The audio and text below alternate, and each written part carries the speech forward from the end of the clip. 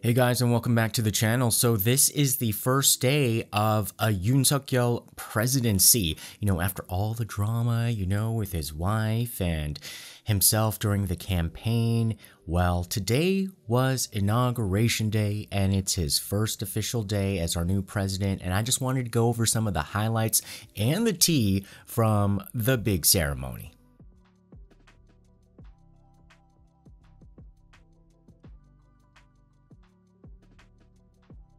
So overall, this was extremely well produced. I don't know if it's all of the experience that South Korea has from covering the Winter Olympics and then, you know, like 30 years ago was like the Summer Olympics, but live events with different camera angles, even drone footage, and various locations. I mean, it was all so well pieced together the ceremony itself ran super smooth. It didn't feel like it dragged at all. So overall, I would say that for an inauguration, this was extremely well done. And if we kind of like judge if there's because you know sometimes you can tell whether there's like infighting or not or if the team is like doing well or not based on like you know you can kind of pick up a few things on especially on like a live event. But it seems like hopefully because this is what he's trying to say to the nation that this is going to be an administration not of like VIPs but for the people and that he'd have more open communication with the people. And it did feel actually like there was less ego, less fighting, and it was just simple, clear, just get the job done, get it through, get it efficient, and I thought overall it looked kind of spectacular. There were no huge high profile celebrities as the performers as usually there are in other previous inaugurations and that was fitting with the theme of being more of this humble kind of president and ushering a humble presidency.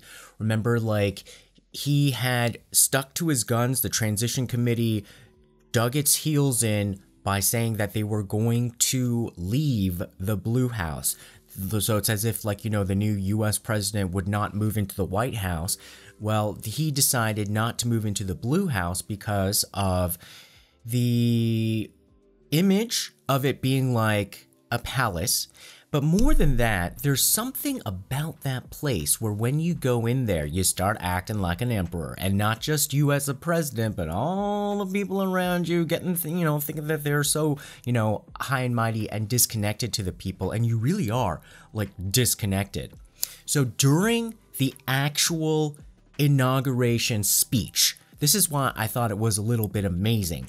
They timed the opening of the Blue House to the public because that was his campaign pledge. He's like, I'm moving out. I'm not going to live there. I'm not going to work there. We're going to return it to the people and make it like a place where people can have picnics and then they can, because, you know, it's like 66 acres and it's beautiful inside and they can tour the different buildings. The buildings aren't ready yet and they had like all the right, you know, representation of like making it look like old, young, male, female, and even I saw that they had put people people from outside the country to kind of show like it's going to be like multicultural. It's a little bit, I'm still a little bit, you know, iffy on that if they're just doing that as like virtue signaling, especially with the anti discrimination bill that's on the docket that people are trying to push through like after like 20 years, but that's going to be the next video. So he left his house early or in the morning. So the uh, official ceremony started at 11 a.m. And we got a little bit of a glimpse of what his commute would be because before the presidential residence has been set, because they haven't decided exactly where he's going to be living if he's not going to live in the Blue House. So he's going to live in his own private home for now, and they're going to block off the traffic and block off the streets and then like have him have his own special motorcade so that he doesn't even have to understand how hard it is to get to work on time. You know, if you want to be a real man of the people, you get rid of that motorcade and you sit in that traffic and you see all the different like problems that need to be fixed with like even the way the the streets are like you know painted. Anyhow, so we got a preview of what his motorcade would be like and the rumor is is that he's gonna like travel like at four or five in the morning so that you know citizens aren't like complaining because he's living in gangnam and so like he's gonna like you know clog up gangnam. So then he went to the national cemetery first to do the uh, pre-inauguration commemoration of the patriots to south korea and his wife wore black. And this was like the kind of the first time we've seen her publicly because you know she's been taking a little bit of a low profile because they promised that she wasn't gonna you know dip her hands in the cookie jars all over the place and be not a actual first lady the way that the first ladies in the past have been more uh, regimented and also like formalized with their own office with activities. She said that she's going to be more of a private citizen. However, yeah, let's go on a little bit of a sip of tea. She has been testing it already. So, like for one event for Buddha's birthday, she went in lieu of her husband. People were like, mm, she's like, you know, looks like she's kind of crawling out of that cocoon, trying to be a first lady, you know, seeing if the people, you know, forgive her already. And then there's just been this whole controversy and scandal over the presidential residence, and they might use the the former or the current house of the ministry the minister, the foreign minister. And the foreign minister's house is you know, very beautiful, but there have been like controversy stirred up by the opposing liberal party saying that oh well we heard that when she came in she didn't come in without an she didn't even come in with an appointment. She was carrying her dog. And she even made the foreign minister's wife leave like saying like i want to take a look around here see how many bedrooms and bathrooms there are. Like you know you need to get out of here while i you know take a look around at your house. And people are just like how can you tell a lady who's over 70 years old to just like you know get out of the house so that you can take a look at it as if you know you're on like some realtor open house tour? But they claim that that didn't really happen and then the liberals are like well let me let's get the cctv footage. So that was kind of like the pre-inauguration drama so they went to the National Cemetery and then they went to the National Assembly compound, which is basically our Capitol Hill, where the lawmakers have their main building. That's where the inauguration ceremony happens. And during this time, though, they also coordinated and they uh, beautiful, beautiful camera work. They also showed how Moon Jae-in was having his last event at the Blue House and that he was leaving the official residency for the last time, and that would be like the last time this was like the president's house. And then you know he left and he came to the ceremony as well. Now, it's not as if there weren't any other dignitaries, just some of note that I think that you guys might care about was you know the old grandpa in the Squid Game? Yeah, he was there. They invited him. He he had like a front row seat. And from the United States, the delegation included and was uh, spearheaded by Doug Emhoff, Kamala Harris's husband. So he's the second gentleman of the United States. So he came to see the ceremony. And yes, former President Park Geun-hye was also there, and she sat right behind Yoon Suk Yeol. So you might not have noticed her, but like sometimes you saw her like face over his shoulder, and she was like wearing those sunglasses, looking like a creepy ajumma. Like my goodness, wearing like some purple blouse. Like what's she trying to say? Like she's still the queen? Mm, I mean, apparently she's not in the best of health, so yeah, that's kind of sad. But she, you definitely didn't put my career in the best of health after her all of her corruption. So yeah, bless your heart, girl. So what was the overall tone? I think he actually did a very measured, stable, kind of standard speech. It wasn't boring because you know he's always like boom, boom like you know like he's a little bombastic, um, you know, in that old man style, but I thought he was simple and clear. So that was that was good. And he generally focused on saying that he wanted to strengthen Korea and you know had a little bit of a tinge of like you know the the slogan was like you know Korea again so maybe like make America great again you know so kind of like yeah well okay if you kind of can overlook that part. His main point was that like we need to move forward and create fast sustainable growth. So he's definitely taking a you know the page book from the conservative president handbook of like let's try to solve problems through economic growth you know raise all boats like let's increase the pie let's create more opportunities for everybody. And yeah like a lot of the business like you know the chaebol leaders were there you know mr uh, head of samsung was there but they didn't really give him a lot of camera time you know. I think they were trying to like you know put him on the more of the down key but he was he was definitely there. And so he's saying that it's through science and technology that, you know, South Korea will be able to continue to develop. He mentioned, you know, we're the 10th largest economy in the world and that, you know, economic growth is going to be like the driver for the development and equality. And so then he kind of went into saying like, you know, talking about the concept of freedom and how freedom has to be there for everybody. It's not just for the winners, that there is a right for freedom for everybody. If one group does not have freedom, then we all don't have freedom.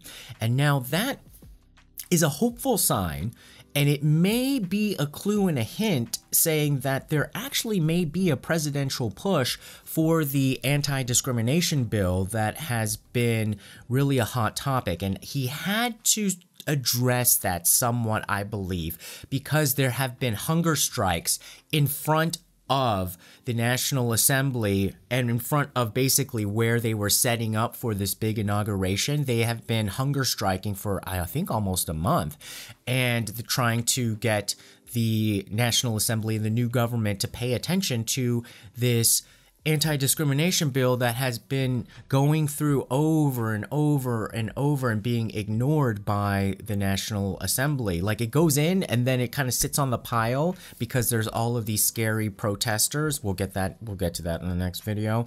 But I think it was very interesting that he was very pointed in the way that he said that you know it's that we have to have freedom for all so i wonder what that would exactly mean we know his cabinet does not have a lot of women but from the way that we saw a lot of the inauguration ceremony take place, there was still a lot of virtue signaling. Like even the kids that greeted him when he came into the National Assembly complex, there was like two little kids with flowers. You know, they always have that. Well, one kid was from Daegu, which is the his hometown and also the conservative bloc region, sort of like the American South.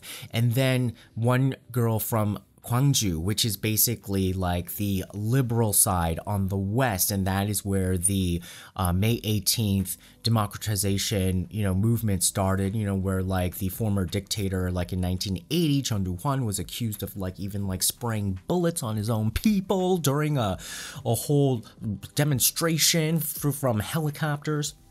So that was like a virtue signaling kind of a thing, but it did show that they were paying attention to sort of like national unity and symbols of that.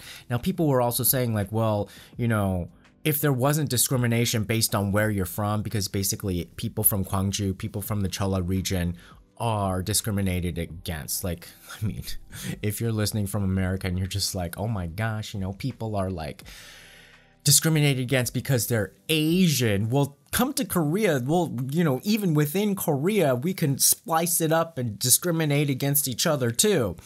And, and so that was one kind of way of them like I think there the details, the what I'm trying to say, were very much paid attention to and then they really did want to make it look like there was a multicultural face to the dais and then even the performance, uh, the highlight performance of singing Arirang and then also like a opera song by this old men's like opera choir, I thought was also kind of quite genius because it was conducted by a conductor who was disabled in a wheelchair. So then again, it starts to signal that maybe this administration does care about the minority rights.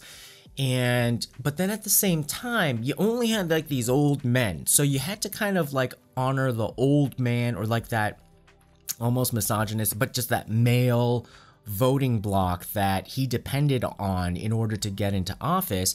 But they were kind of hip in a way. Like well, when they first started singing, I was like, oh my god, this is so like.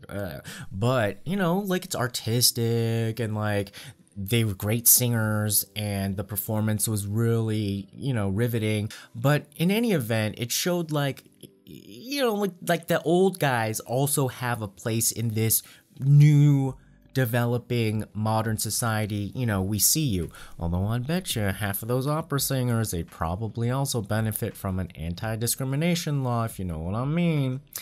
So then we also had topics of defense and North Korea with the speech. And Yoon's main point was that the door to dialogue is always open, and he is taking it back towards more of the conservative angle and a bit of like the Park Geun-hye, maybe even Lee Myung-bak playbook of basically saying like, if you denuclearize, then we will give you economic benefits. And he even used, I guess, a term that's been translated into an audacious package of economic growth and development. So, I mean, it's just like some, it, it is kind of like the playbook that we've had before. You know, you denuclearize, we're going to give you like wonderful economic treats and incentives. Usually, it always ends up in a stalemate because North Korea always is looking at the countries that have given up their nuclear weapons and if they were dictatorships especially did they get economic goodies that transform them? Mm, usually the dictator got decapitated. So they're probably not gonna you know he's probably probably gonna have to find a new way on that and he may, especially with Ahn Cheol-soo in his corner. Ahn Cheol-soo is the brains. Ahn Cheol-soo was also there on the dais, very prominent, and looking like, you know, he was he was in a strong position, although his wife, I think, was looking all pissed, thinking like, you know, my husband should have been the president.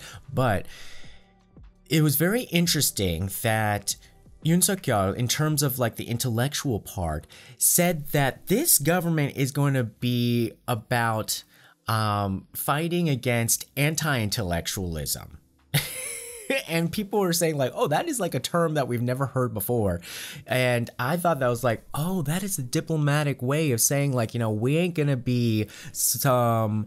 Dumb government, some stupid government coming up with dumb policies that aren't thought through, that aren't based in facts, and that aren't tested through some sort of like at least rigorous research. Because a lot of the policies that came out of the Moon administration, if you kind of think of it in a positive way, the well intentioned oh my goodness like didn't have some brains behind it didn't even have like any kind of like testing on it like like with the real estate policy, I was shocked when the, the real estate policy people like who brought it out, they were saying, you know, people were like, okay, so is this going to work? You know, is are these like really market restrictive policies on real estate going to actually bring down the prices? And they were like yeah we think so. It should. You know? Like it, it, i mean like mo- most likely you know in a few months like there should be more houses on the market.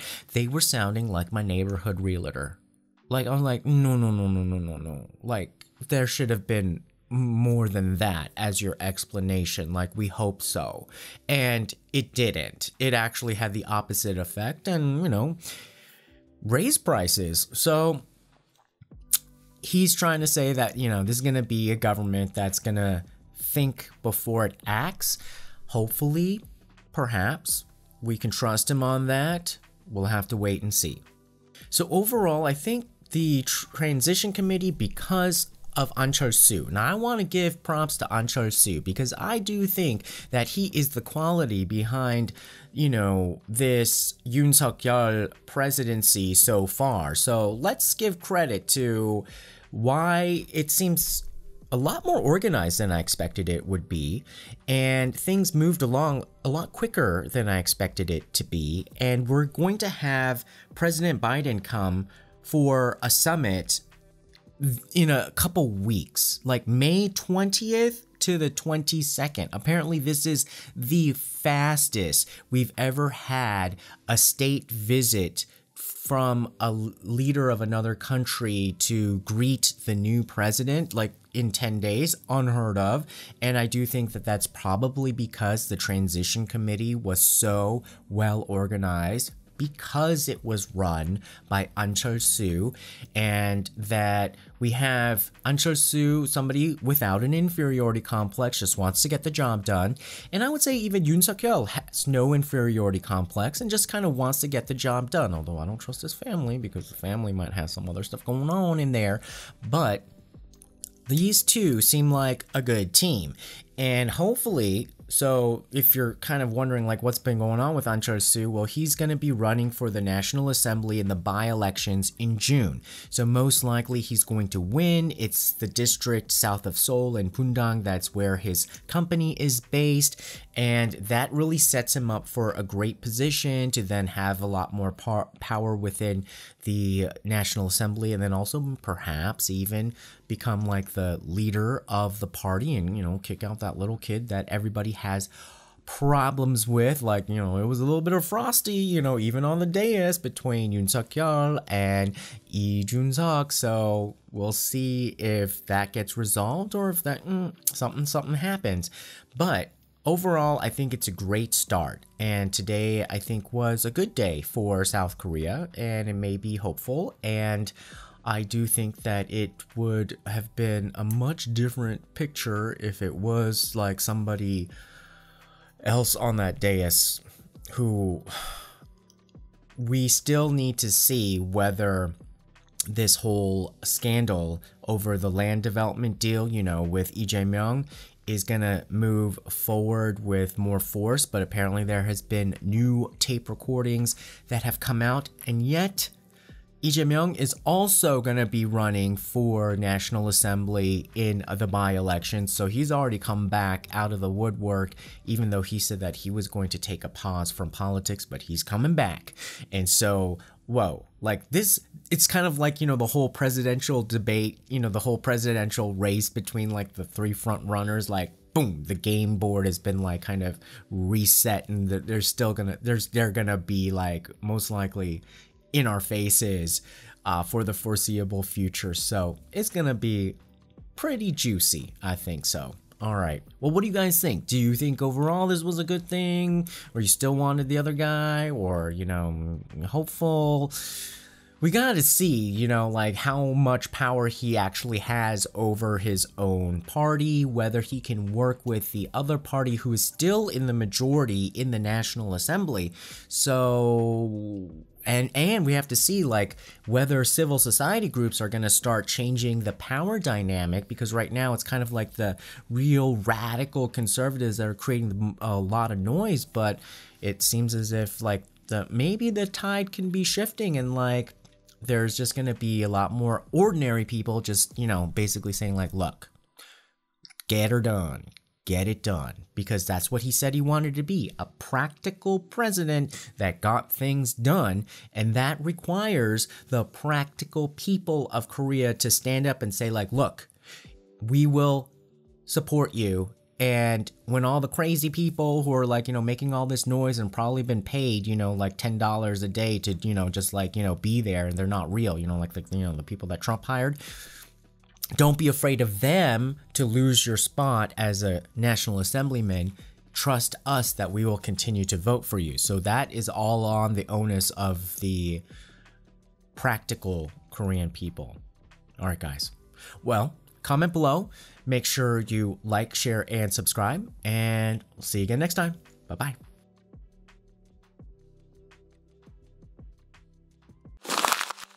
Tune in next time. Don't forget to subscribe. Find us on YouTube, Instagram, Twitter, and Facebook. Love you.